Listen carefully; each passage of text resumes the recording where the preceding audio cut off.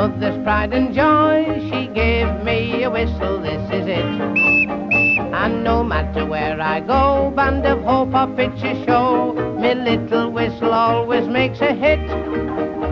It's been a pal to me, it's as easy as can be, and to blow it doesn't use a penny gristle. A lady came to tea, and when she smiled at me, well, I blew a little blast on me whistle. I've been to London too, Leicester Square and to the zoo, in the tube and even down the Strand. But no matter where I went, I had no accident. I always had me whistle in me hand. But once near Waterloo, and near squeak it's true, I trembled and me to. A lady smiled and stopped, and then she nearly dropped when I blew a little blast on me whistle.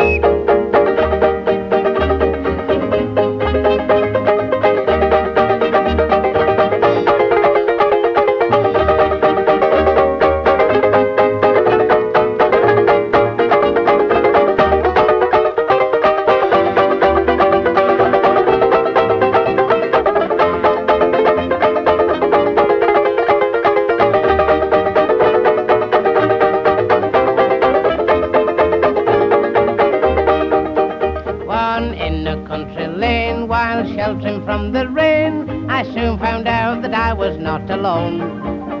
I heard a sound like this, it must have been a kiss, two lovers thinking they were on their own. They carried on disgraceful, I went all goosey like, but when the lady shouted, stop it, Cecil, I took it for a hint, and I had a little squint, and I couldn't blow a blast on me whistle.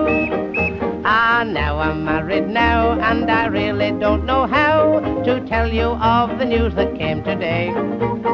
I've a little son and heir, yes, one, no, not a pair. No wonder that I'm feeling bright and gay. I'm feeling very proud, but I mustn't talk so loud. I've been celebrating at the Rose and Thistle. He's a lovely little kid, and the first thing that he did was to blow a little blast on his whistle.